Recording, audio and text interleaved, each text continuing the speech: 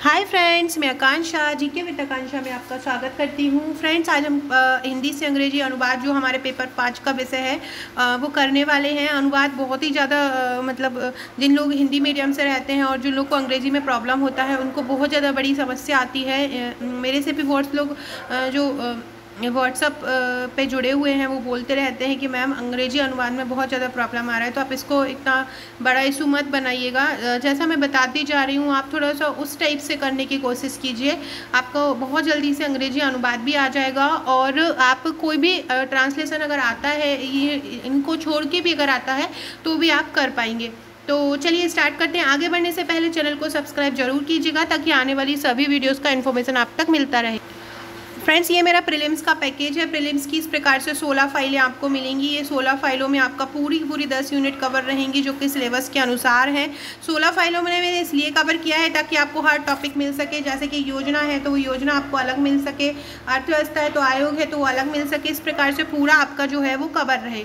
इसी प्रकार से फ्रेंड्स ये प्रीवियस ईयर्स के पाँच साल के मेंस के सॉल्व पेपर हैं, ये अगर आप कर लेते हैं तो आपका बहुत सारा जो प्रॉब्लम है मेंस में किस प्रकार के आंसर आते हैं, वो सॉल्व हो जाता है और ये हमारा मेंस का पैकेज है। इस प्रकार की फाइल्स आपको मिलेंगी। पच्चीस फाइलों के रूप में रहेगा। नए और पुराने सिलेबस दोनों के अकॉर्डिंग ही आपको मिल जाएगा। इनके साथ टेस्ट सीरीज़ आपकी मेन्स की टेस्ट सीरीज़ बिल्कुल फ्री रहेंगे और प्रीलिम्स का जो टेस्ट सीरीज़ आएगा, उसमें आपको डिस्काउंट मिल जाएगा। तो चलिए हम स्टार्ट करते हैं। हमारा आज का जो अनुवाद है, वो पढ़ते हैं कि किस बारे में है। जो आज का हमारा अनुवाद है, वो पंचायतों के बारे में है। पहले हम पूरा हिंदी पढ़ लेते हैं, उसके बाद हम इसका इंग्लिश पढ़ेंगे। तो पंचायती जो है, वो पंचायतें जो है, गाँव के स्तर का एक मूल्य प्रशासनिक अंग है। बिना गाँव पंचायत के गाँवों को चलाना मुश्किल है। भारत में पंचायतों का इतिहास अति प्राचीन है। ऋग्वेद काल में भी ये प्रचार में थे, अस्तित्व में थे। भारत में अनेक प्राचीन धर्म ग्रंथों में पंचायती प्रणाली की कार्यविधि का वर्णन किया गया है। उन दिनों पंचायतों के चुनाव जो है, पंचायत के सदस्यों के निष्कासन और उनको पंचायतों में शामिल करने की विधियों का वर्णन मिलता है। गाँव में पंचायतों का सम्मान होता था और उनकी राय अथवा उनके आदेशों का पूरी तरह पालन होता था। आज भी पंचायत में गाँव की जनता और शासन तंत्र के बीच मुख्य कड़ी बनी हुई है। पहले हम इतने का अनुवाद करते हैं।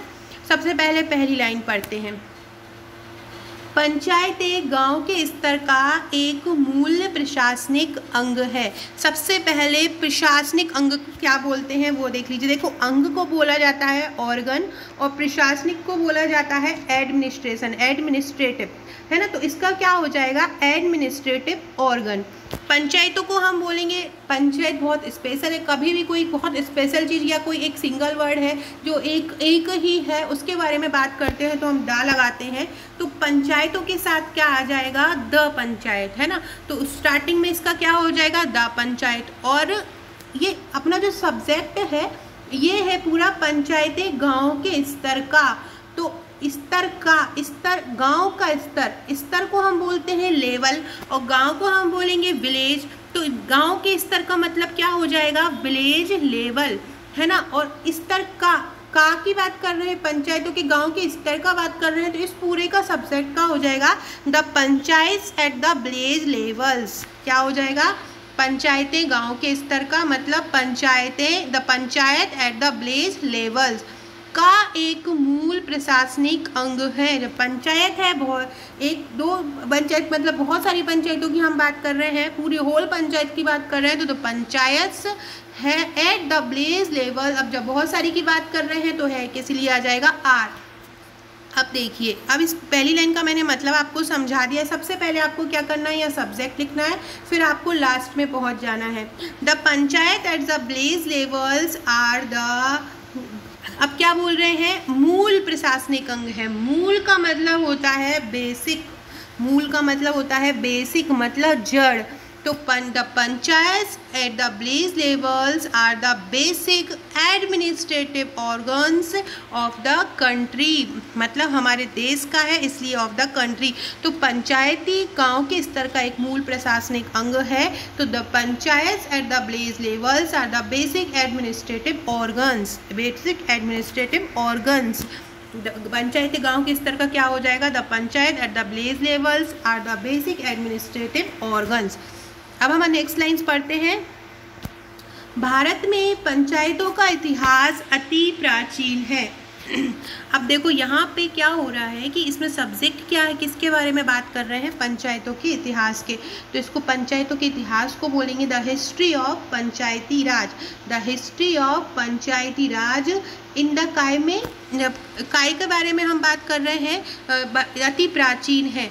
तो द हिस्ट्री ऑफ़ पंचायत बहुत पुराना है is very the history of panchayat है ना? तो भारत में पंचायतों का इतिहास अति प्राचीन है है ना? सो एंशियंट ऋग्वेदिक काल में भी इनका प्रचार में अस्तित्व में थी। The history of Panchayati Raj institutions dates back to the Rigvedic times मतलब ऋग्वेदिक टाइम्स में भी अस्तित्व में थी एग्जिस्ट करती थी।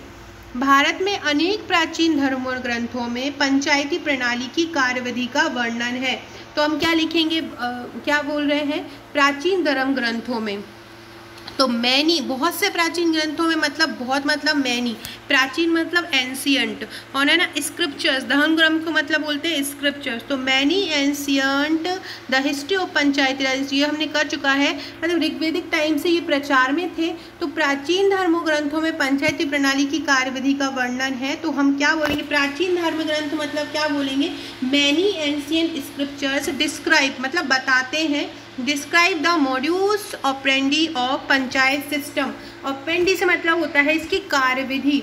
तो मैनी एंशियन जो स्क्रिप्चर्स थे, वो डिस्क्राइब्स करते थे द पंचायतों की कार्यविधि के बारे में।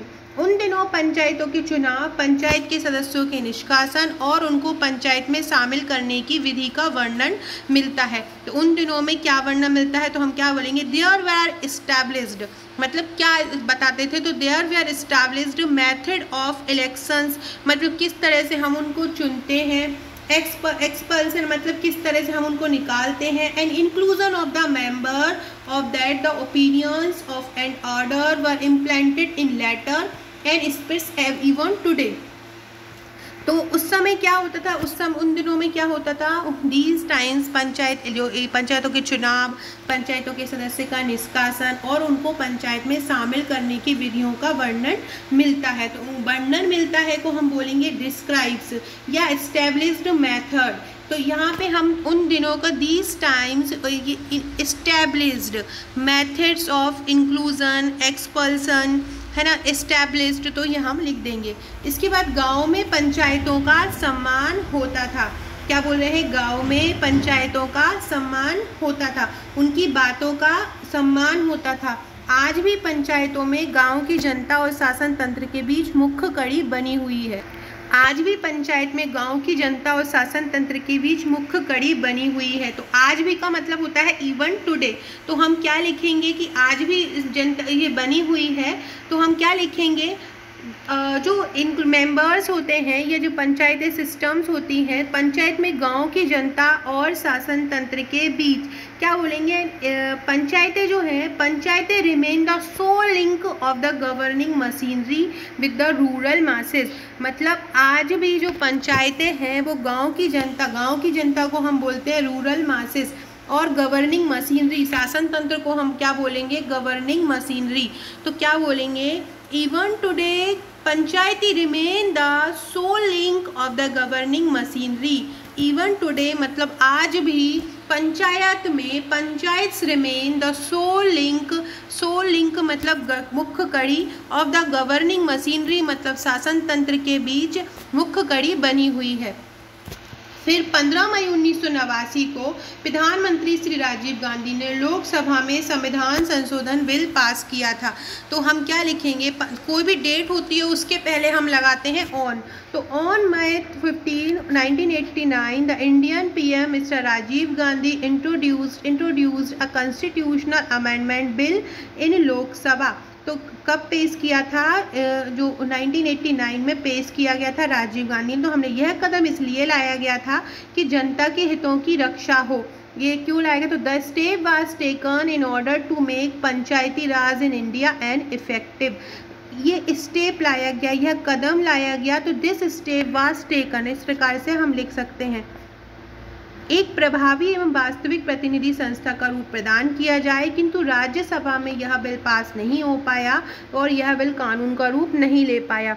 तो हम क्या लिखेंगे? This step was taken in order to make panchayati raj in India an effective and a truly representative system मतलब ये जो तरीका है, इसलिए लाया गया ताकि हम पंचायती राज को और एक प्रभावी बना सकें, एक वास्तविक प्रतिनिधि संस्था बना सके मतलब and a truly representative system वास्तविक प्रतिनिधि संस्था मतलब वास्तविक मतलब हो जाएगा ट्रूली और प्रतिनिधि संस्था मतलब रिप्रेजेंटेटिव सिस्टम किंतु राज्यसभा में यह बिल पास नहीं हो पाया, किंतु मतलब however the bill could not become a law as the Rajya Sabha did not pass it Rajya Sabha में यह बिल पास नहीं हो पाया। सो so फ्रेंड इस प्रकार से ये हमने ये जो अनुवाद है, मैंने ये एक बार इसको बोल के बता देती हूँ पूरा। ऑन माई सॉरी एक second The panchayats at the place levels are the basic administrative organs of the country. जो पंचायत से हैं गाँव की, वो बेसिक एडमिनिस्ट्रेटिव मूल जो प्रशासनिक तंत्र है देश का। The history of panchayati raj institution date back to the Rigvedic times जो पंचायती राज्यों का इतिहास है, उनकी जो जानकारी है, वो हमें ऋग्वेदिक टाइम से मिलती है। मैनी इंस्टी जो मैनी एंशियंट स्क्रिप्चर जो बहुत सारे जो प्राचीन धर्म ग्रंथ हैं डिस्क्राइब द मॉड्यूल्स ऑफ़ रेंडी ऑफ़ अ पंचायत बताते हैं कि पंचायत सिस्टम कैसे काम करता था। ऑपरेट कैसी, ऑपरेंडी का मतलब इसकी गतिविधियाँ कहती कैसी थी? They are were establish method of election यहाँ पे इस समय की जानकारी के अनुसार उनका कैसे चुनाव होता था, कैसे उनको अंदर नियुक्ति होती थी, कैसे उनको निकाला जाता था। और the members of their opinion and orders were implemented in letter and spirit even अब वो बोल रहे हैं कि स्प्रिट सॉरी स्प्रिट है, इसके बाद even today next lines में। तो आप वो क्या बोल रहे हैं, किस प्रकार से उनको उनकी उनकी जो राय है, उनको माना जाता था, उनकी राय को रखा जाता था, इस सब चीज़ों की विधियों के बारे, उनकी उनकी राय और उनके आदेशों का पूरी तरह पालन होता था।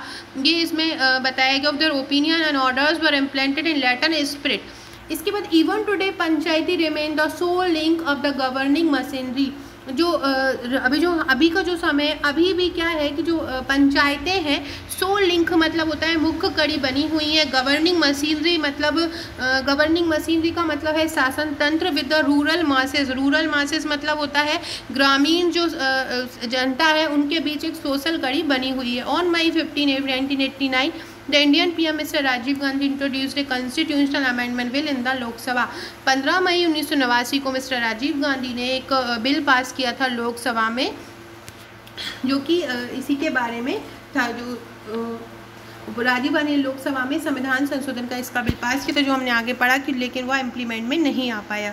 सो फ्रेंड्स इस प्रकार से हम अपना अनुवाद कर सकते हैं। ऐसे और बहुत सारे अनुवाद मैं आपके लिए लेके आऊँगी।